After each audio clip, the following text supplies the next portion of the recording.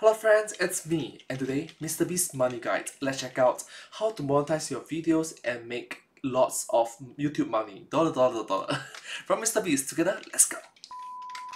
I was thinking to This gameplay starts my first video on oh, and I noticed that it's been a while since I made a video about YouTube money. I mean, I pretty much built my entire fan base, if what I have is considered a fan base, off of talking about YouTube money. So what better way to Well, to be fair, you improved a lot. Like 200 million strong? That actually. Mm.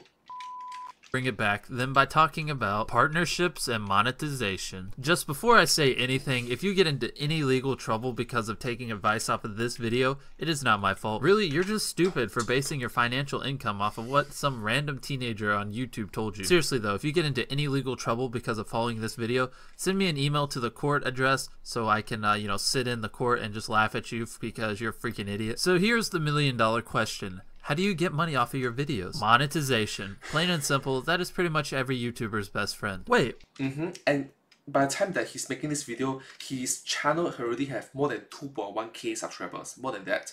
And for me right now, I have more than 2.5k subscribers, but yet I have not monetized my channel.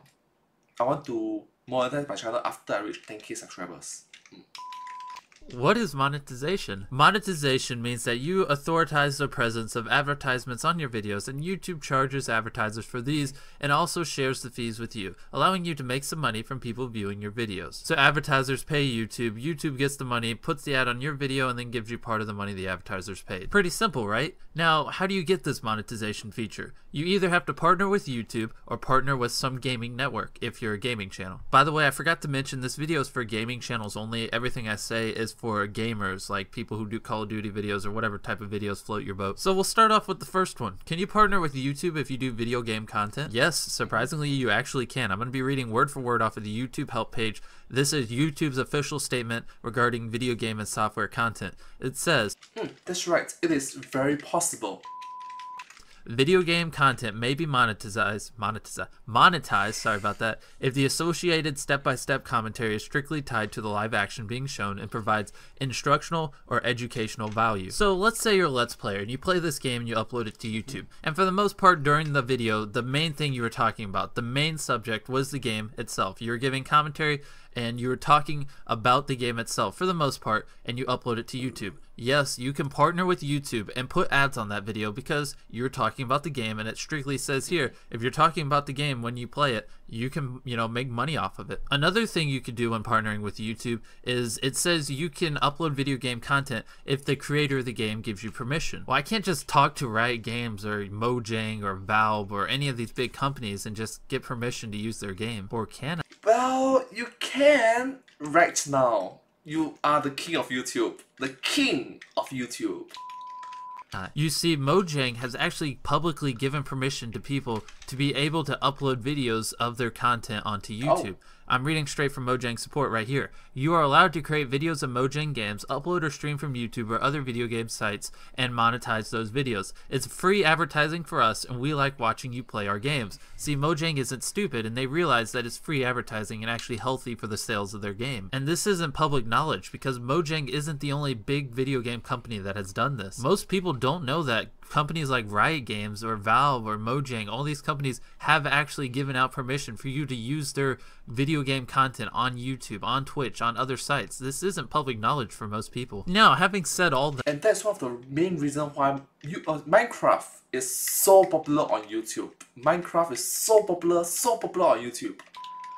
Uh, why would you partner with the YouTube network that will take 10, 20, 30, 40, even up to 50% of your income when you technically don't have to. And here's the biggest misconception throughout all of YouTube. People say, I partnered with the YouTube network because they get the rights from the maker of the video game, which allows me to monetize my content. With the exception of Machinima and maybe one other YouTube network, these networks have never talked to any of the makers of the video game contents. They have no insider deals. They, like, there's so many games out there, there's no way possible that a YouTube network could have deals with all these games either way. Like, they it's such a lie. Like these YouTube networks do not have deals with the CEOs of these video game companies, and they do not get explicit rights to monetize that video game's footage. Now, after heavily bashing YouTube networks like that, I'm gonna say why I preferred to be partnered with one instead of going solo with YouTube. First off, I don't care about the money, so the YouTube network can take a part of my money. I really don't care.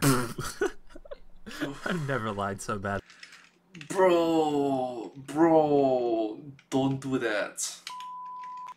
In my life. I don't have Like, try not to make too many enemies, bro. Don't do that. an AdSense account, and I think you have to be like 18 to make one, which you need that if you're partnered directly with YouTube. Another reason is for legal help. Now, this really only applies if you're partnered with the bigger networks. Some of these smaller networks that only have like 5k subs and just are ran by like teenagers, they ain't gonna do crap for you if you get into legal trouble. But if you're partnered with a bigger network like Machinima, TGN, uh, yada yada, networks like that, RPM, they can uh, they can help you if you get in legal trouble a little bit. I, they'll be on your side and they can help you get out of stuff, and they have experience with that. And it'll be a lot better than if you're running solo trying to work with YouTube because YouTube will never reply to you. At least when you're with the network, you can you know add the CEO on Skype and you know talk with them, and he can help you out. Another thing is. But having said that, this video came out nearly a decade ago, nearly 10 years ago.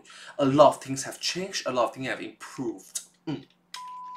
Is I'm pretty sure if you're partnered with YouTube, whenever you upload a video, YouTube has to approve it for ads or something like that. I'm not 100% sure. I've always been with the network. I don't know what it's like uh, just partnering directly with YouTube, but I'm pretty sure if you're partnered directly with YouTube, you uh, whenever you upload it, you have to wait for YouTube's approval, and they have to go through and like their content ID system, whatever, has to check it and say whether or not you can monetize it. And according to a lot of people, that system's really messed up. And uh, things that you should be able to monetize, sometimes it does not let you monetize. So, in conclusion, I would recommend that you partner with a network. Yeah, they're going to take a percentage of your income, and they might actually never end up doing anything for you, but just partner with the network, be on the safe side. So, now that I've kind of pointed out why I think you should partner with the network, we're going to talk about which network you should choose. Just whatever you do, please do not join a sub network of a bigger network. In case you don't know what a sub network is, let's say I go to RPM. That RPM's a really big YouTube network. I don't know if they do this, and then I apply to them and start my own sub network and call it Fire. So then I go out with my Fire YouTube network and recruit people to Fire.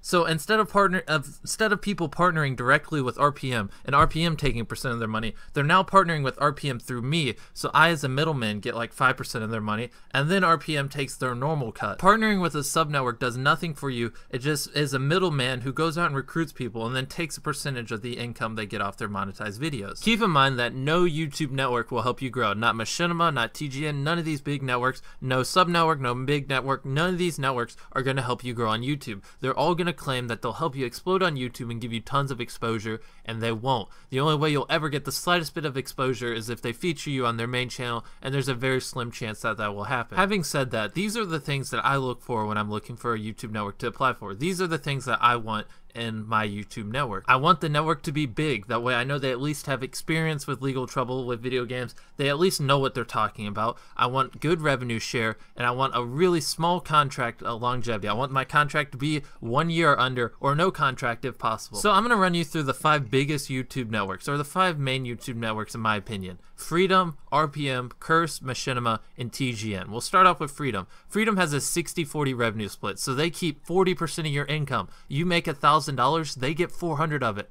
That is that is a huge no-no to me. I would never partner with Freedom just because of that. But Freedom does have a no lock-in contract. You can leave with a 30-day notice, so that is a plus to Freedom. RPM is the same as Freedom. They have a 60-40 revenue split that is just absolutely terrible. But typically Freedom and RPM are for the smaller channels, people who are getting like a thousand views a month and have less than 500 subscribers. That is when you would partner with these guys. But RPM has a two-year contract, so I would not, I would never lock myself into a 60-40 split for two years. That is just horrible. If anything, just partner with Freedom because you can leave within a 30-day notice. Next up on the list is Curse. Now, Curse, in my opinion, is the best. I'm not actually partnered with them. I wish I was. I'm currently in a contract right now with my current network. I'm going to get out of it whenever I can and go apply to Curse because Curse has a 90 10 revenue split. They only take 10% of your income and you get 90% of it. That is extremely good. And to add on top of that, they have no lock in contract. You can literally leave whenever you want, but I don't see why you'd ever want to leave if you're getting 90% of your income. That is definitely the highest I've ever seen out of any YouTube network. Of course, though, Curse requires that you get a decent amount of views every month, so that is one downside. If you're a smaller channel, you can't yet apply to them. You're gonna probably apply to Freedom, and then you know once you get big enough, leave Freedom, and then go apply to Curse because you get more money off of them. The next two are Machinima and TGN. I know nothing about these two networks. I never even applied to them, but uh, Machinima supposedly has a 50-50 split and does require contract. That's just what I read online. I read a couple reviews on Machinima's partnership, and both reviews said that it was a 50-50 split and obviously that's just terrible. I don't even have to say anything about it, but I doubt that's actually true. But that's what I read online is that it's a 50-50 split. I don't know. Maybe someone who's actually partnered with Machinima can verify that in the comment section. And I want to emphasize again, this video came out around 10 years ago, so a lot of things have changed. And then TGN has a 70-30 split, which is not horrible, but that's still way too much money with contract. And uh, those are the five top YouTube networks, in my opinion. And I just ran you through why I wouldn't partner with them. But uh, obviously, you probably have your own opinions. And there are other things that factor in besides contract and revenue split. But to me, those are the biggest things. So to summarize the entire video, technically, you can partner with YouTube and still monetize your content as long as you're doing Let's Plays and primarily talking about the video game in your commentary over the game. Or you can partner with the YouTube network technically though you're not supposed to monetize stuff unless it's you know you're not supposed to monetize a video game unless you're talking about the game but if you're partnered with a youtube network generally they turn you know a blind eye they just ignore it because obviously you're making money off of it and uh, as long as you don't talk negative about a game as long as you don't use uh, copyrighted music as long as you're not uploading hacks about a game you should never really get a copyright strike whenever you upload a game even if you don't have um, permission off their website to use it because not all games do give permission as long as it's not like a hack or uh, just you cursing a bunch and just bashing the game, generally the publishers won't care. I mean, it's just free advertising, and so many people do it. I doubt you'll ever get in any legal trouble. There's a 99.9% chance that you'll never go to court for uploading video game content, even if you don't have permission. The worst thing that's going to happen is get a copyright strike, and the best way to avoid that is, like I said, just don't do hack videos. Don't be stupid, and uh, most you know video game companies don't care. So I tried to lay everything out there, and like I said, some of this might not be true. Please, if anything I said in this video was false, correct me in the comment section. I'll throw an annotation up on the video. And that's pretty much everything. Hope you enjoyed, and let me know what you think. I think that things have changed for the better over the past few years. Note one more time, I need to emphasize again and again and again.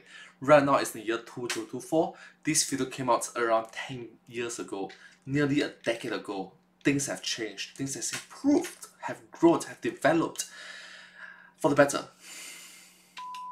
Well, thank you so much for watching this video. I hope you find this video quite interesting to watch. Subscribe. Thank you.